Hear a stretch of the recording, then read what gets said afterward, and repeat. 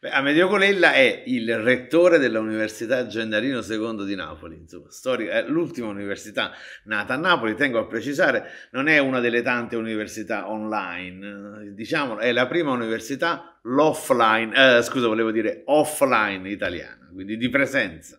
Però in realtà nella vita precedente mh, mm, facevo tutt'altro, facevo il ricercatore senior in un centro di ricerca che era promosso proprio dalla Federico II, un centro di ricerca di telecomunicazioni. Guarda caso, poi alla fine mi sono ritrovato a cambiare completamente la mia vita dopo il successo del primo libro, ma è una storia molto lunga e noiosa. Beh, tutto è iniziato per, per gioco, per caso, era, un interesse, era una passione, quindi ho cominciato a raccogliere, perché lì ci sta sempre la deviazione informatica, comincio a trovare il materiale, a raccoglierlo, a metterlo tutto quanto da parte, e quindi ho cominciato a sistematizzare le informazioni, è diventato un archivio sconfinato, poi ho cominciato a metterlo in ordine e poi ho cominciato a restituire alla città tutte queste informazioni, a fare un'operazione di divulgazione che però è cominciata così per gioco, per caso, per caso. Una, una situazione come questa, un giornalista, lo, lo, devo dire, tanto non credo che ci siano problemi, di Napoli Today, un portale napoletano, Massimo Romano, un giorno mi disse,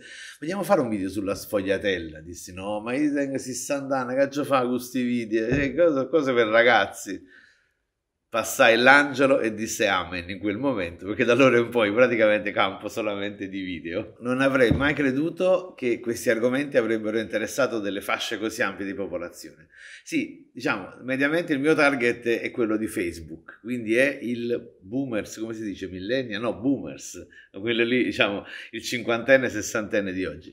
Ma scopro sempre di più giovani, giovanissimi, per fasce d'età, per classi sociali, c'è un interesse diffusissimo a sostenere questo orgoglio della cultura partenopea. Forse anche complice questo momento in cui Napoli è diventato, come devo dire, quasi un brand, no? È la destinazione preferita di tutta l'Europa. Insomma, si sono messe insieme, secondo me, una serie di, di, di alchimie che hanno creato un interesse diffusissimo per le tematiche della napoletanità, che io credevo invece, capito, un argomento di nicchia, invece che sta nicchia è un nicchione, eh, insomma è bello grosso.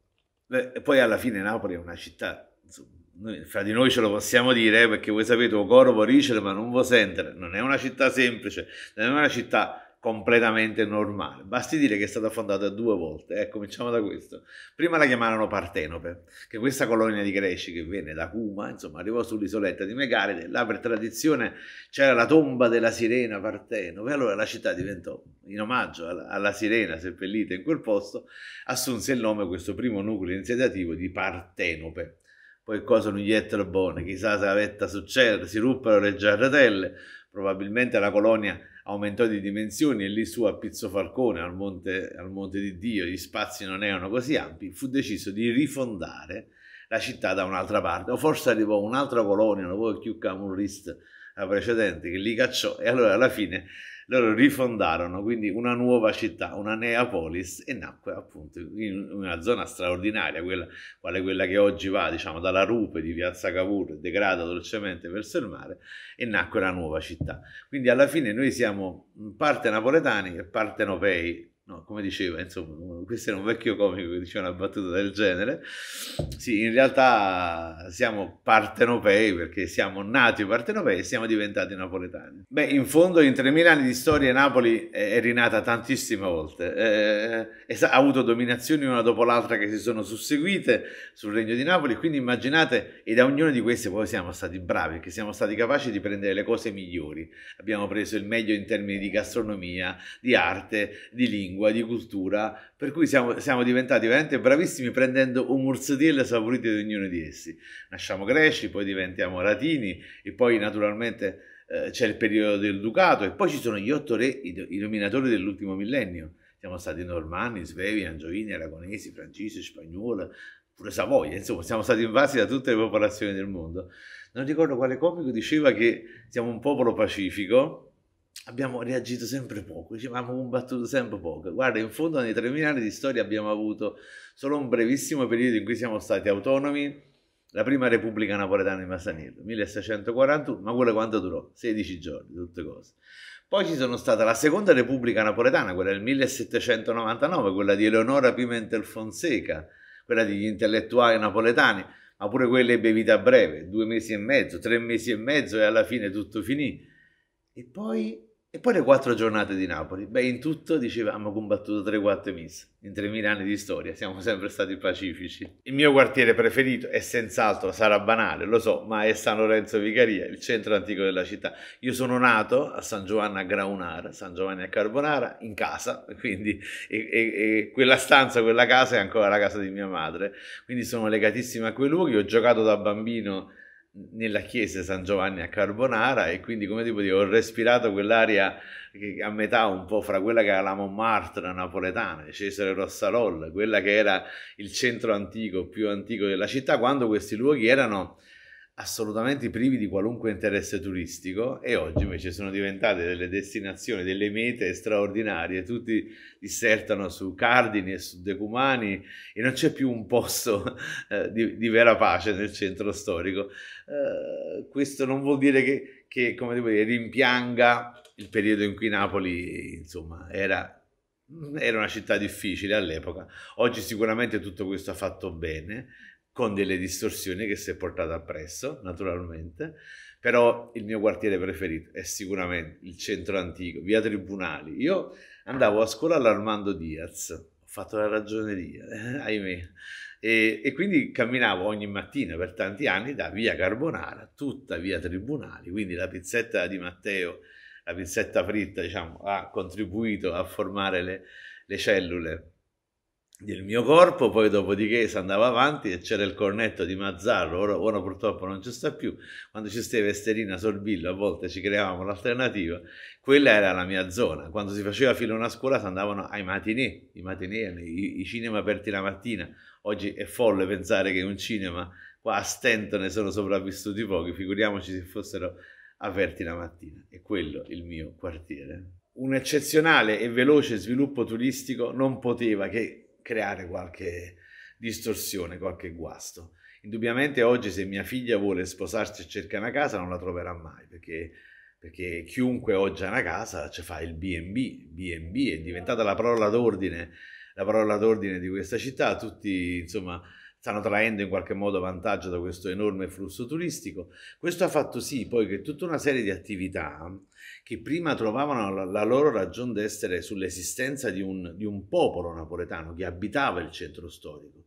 Oggi il centro si sta svuotando. Svuotare vuol dire che tutta una serie di attività, anche artigianali, ecco faccio l'esempio del riparatore di scarpe, della lavanderia, insomma di quegli artigiani che in qualche modo avevano bisogno di un mercato locale per sopravvivere, il piccolo panettiere o frasellare, questi purtroppo non hanno più ragione d'essere e quindi tutte quelle attività che paradossalmente hanno attirato tanto turismo, no? perché erano le vere attività napoletane, oggi stanno sparendo perché non c'è più un, un, popolo napoletano che in qualche modo sostiene e mantiene, per cui troviamo palazzi in cui su 12 appartamenti, leggevo, ce ne sono 11 che sono B&B, eh, i quartieri spagnoli, diciamo la verità, ieri ci sono passato c'era un flusso di traffico pedonale, una cosa, cioè non si riusciva più a camminare. Non dico io rimpiango i, i momenti in cui 30 anni fa si aveva addirittura paura di entrare quasi nei quartieri spagnoli, però come devo dire oggi mi sembra quasi una Disneyland è diventata però alla fine è complicato dare un giudizio sintetico ci sono aspetti positivi e aspetti negativi il tutto andrebbe in qualche modo controllato ma non è semplice io sono vissuto a Napoli dal momento della mia nascita. Sono nato in quella casa di via Carbonara e ho vissuto lì. Uh, ora sto che casa in Coppo Pombera. Insomma, vabbè, ma perché insomma, sa, insomma, c'era l'attrazione del quartiere alto. In realtà adoro il centro storico. Mia figlia è andata nel centro storico. Uh, cosa significa essere napoletani?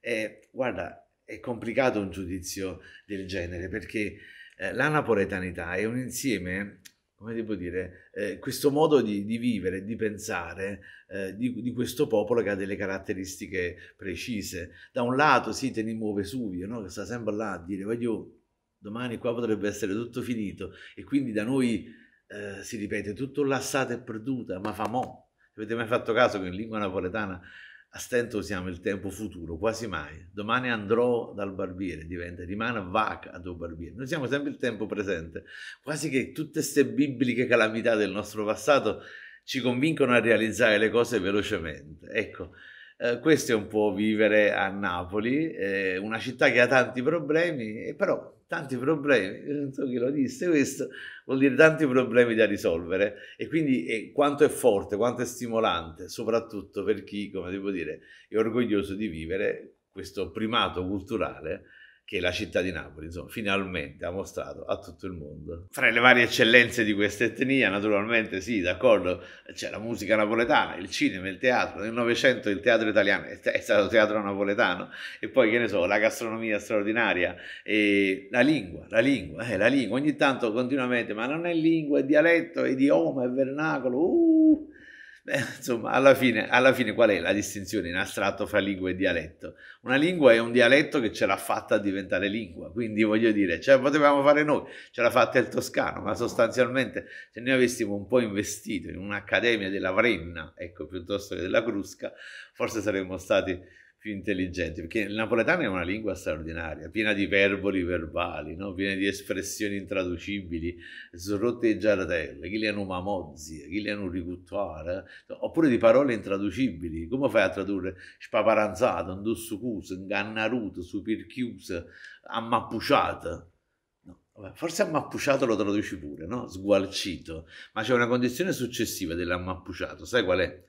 Sguallariato, cioè mi, mi, mi spiego come fai a tradurre sguallariato.